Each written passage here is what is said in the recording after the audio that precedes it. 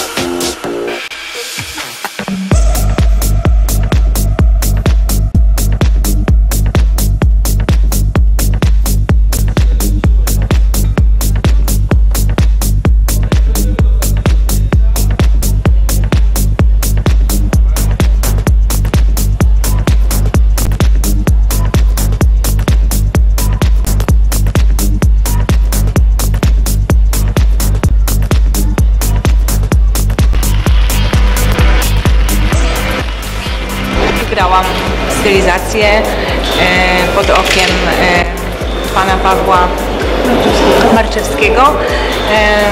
No i jestem bardzo szczęśliwa, ponieważ e, przydało mi to ogromną radość. Koleżankom poleciłabym, e, naprawdę poleciłam dokładnie, bo mam koleżankę, która, koleżankę, która też przyjechała ze mną i wygrała również tak jak ja e, metamorfozę i e, poleciłabym wszystkim udział w takiego typu imprezach, ponieważ naprawdę jest to super, mówię, no ogromna radość i super sprawa dla, dla wszystkich ludzi.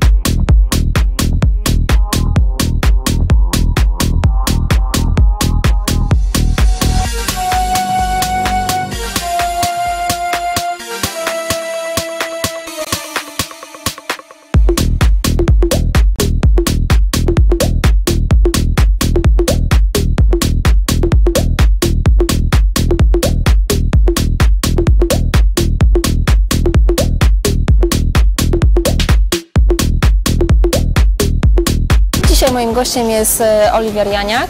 Witam Cię.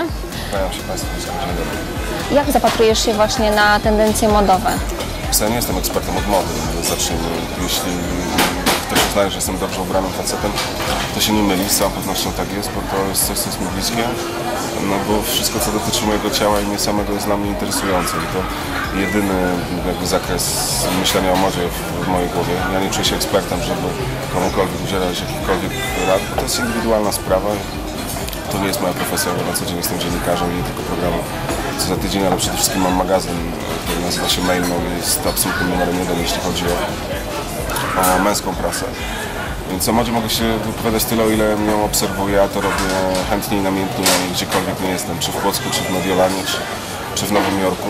To, w jaki sposób się mm, ubieramy, to jest komunikat, z jakim wychodzimy do, do świata. Te wszystkie różne tego typu określenia w stylu tam dotyczące szata zdobi człowieka i tak dalej, i tak dalej, albo nie szata.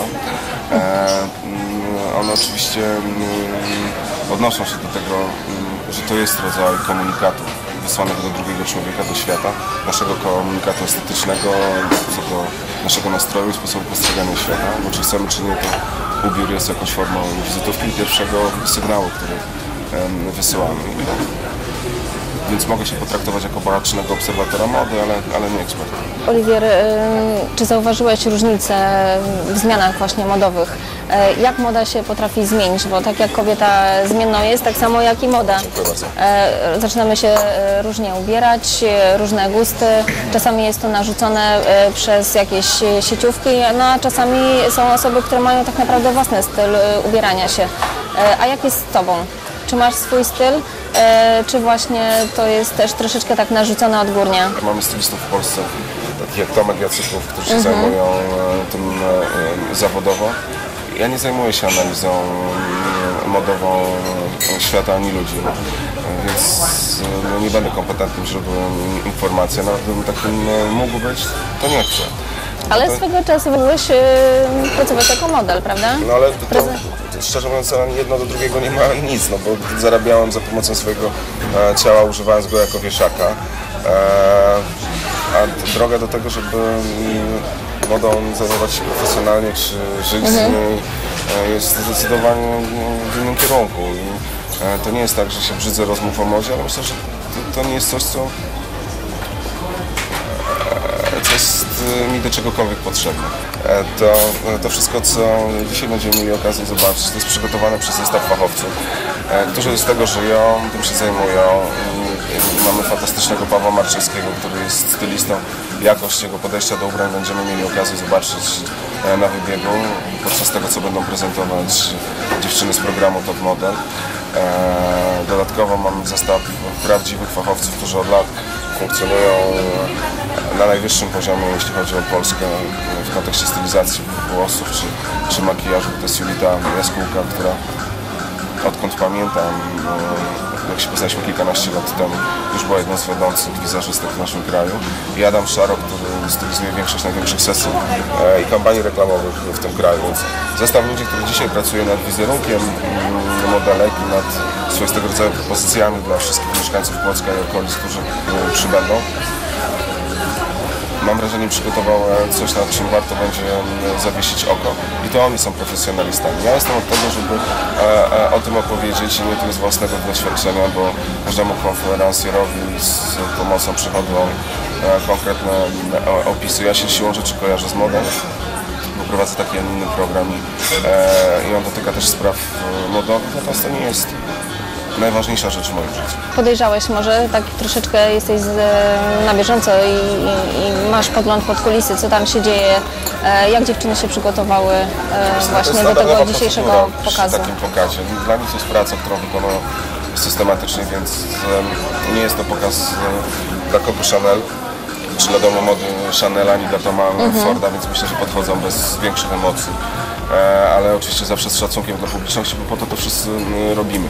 Dziś centra sądowe stały się tak naprawdę e, miejscami też promowania e, kultury, czy odnosi się to do, do pokazów mody, czy do koncertów, które są najczęstsze, to taka jest nasza dzisiejsza rzeczywistość. Jeśli możemy ludziom coś pokazać w miejscu, które zdawałoby się czemu innemu służy, to warto to robić, bo to kształtuje gusta estetyczne i nie tylko w kontekście modowym.